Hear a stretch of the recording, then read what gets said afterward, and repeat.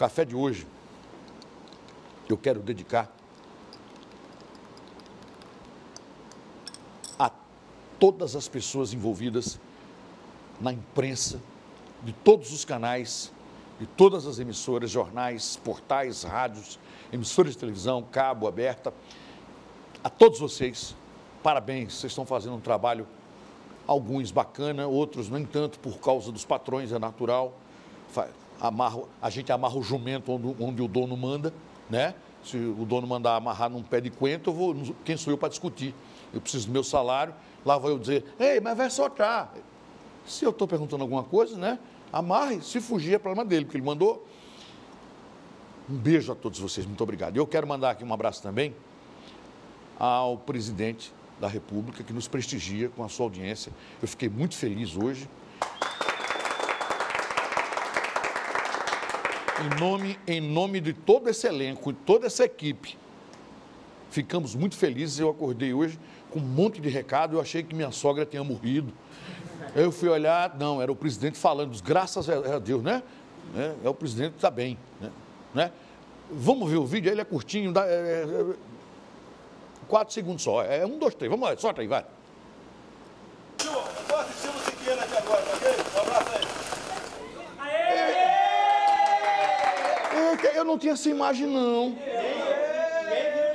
Eu não tinha, não. Eu recebi aquela imagem que ele, que ele chega e fala, ah, o que vocês estão fazendo aqui? Né? Essa aí eu não, ele está vendo mesmo. E eu pensei que era boato dele, que ele estava vendo, mas está vendo mesmo. Deixa eu sair da frente. Solta aí, vai. Tio, estou assistindo o Siqueira aqui agora? É eu mesmo.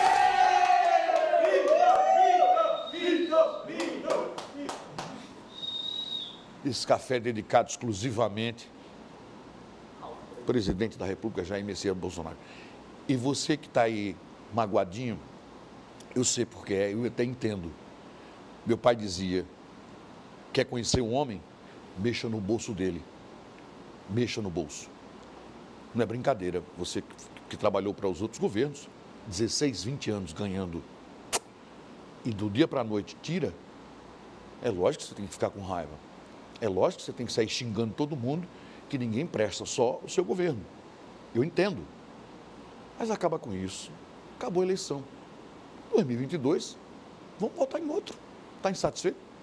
Acaba com isso. Ah, é puxa-saco do presidente. Eu prefiro ser puxa-saco do presidente do que ser puxa-saco de um ex-presidiário, condenado pela justiça e continua solto porque no Brasil, lamentavelmente, a lei ajuda somente a quem tem dinheiro e quem rouba muito. O ladrão de galinha, o ladrão de leite está na cadeia, mas o ladrão de merenda escolar da Petrobras continua solta. Parabéns, Jair Messias Bolsonaro. Esse café é para você.